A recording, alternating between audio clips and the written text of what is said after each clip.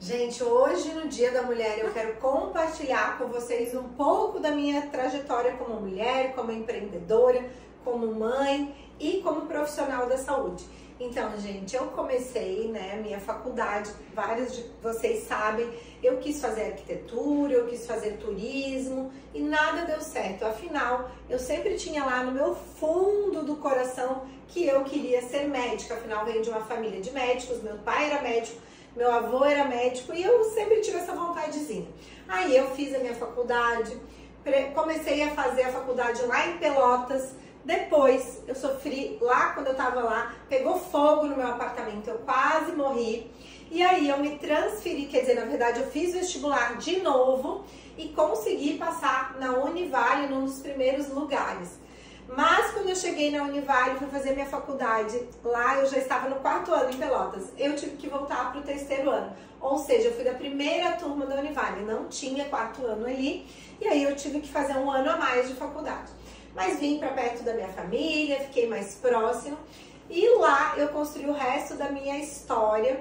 É, foi uma faculdade muito legal, que eu tive acesso a muitos professores, a muita coisa. E eu quis sempre ser ginecologista e no finalzinho da faculdade eu decidi que eu ia fazer dermatologia. Fui para o Rio, trabalhei muito lá, é, dando plantões, plantão em ambulância, hospital público, de tudo. E fiz toda a minha formação lá em alergologia e também em dermatologia e também em medicina estética. E aí, quando eu vim para Blumenau, eu cheguei aqui, afinal, meu pai era médico, tinha um grande médico aqui de Blumenau, dermatologista, que ele estava saindo da cidade, então ele vendeu o consultório. E aí eu comecei a trabalhar aqui na prefeitura, né? Entrei para a Unimed, fui fazendo é, é, muito atendimento, principalmente na área de alergia, de dermatologia clínica, câncer de pele, eu atendi muito na minha vida.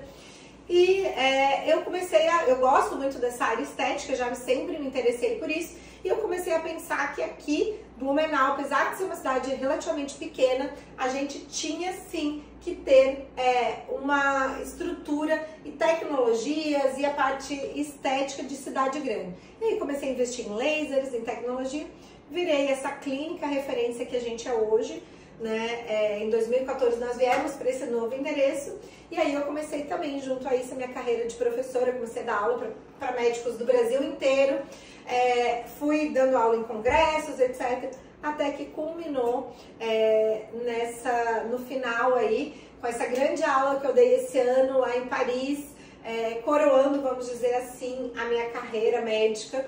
E claro, de empresário, não preciso dizer para vocês, a gente tem unidade não só aqui, também em Balneário Camboriú, né? É, e, e, eu tô sempre em busca de trazer para tanto para Blumenau quanto para Santa Catarina, quanto para os meus alunos o que tem de mais novo, mais inovador. Acho que isso está na minha veia, tá? Então espero que sirva como uma inspiração para vocês. E claro, na minha vida, além de tudo, hoje tem uma coisa muito importante que se chama Davi, né? Esse seisinho que veio para ainda alegrar mais a minha vida.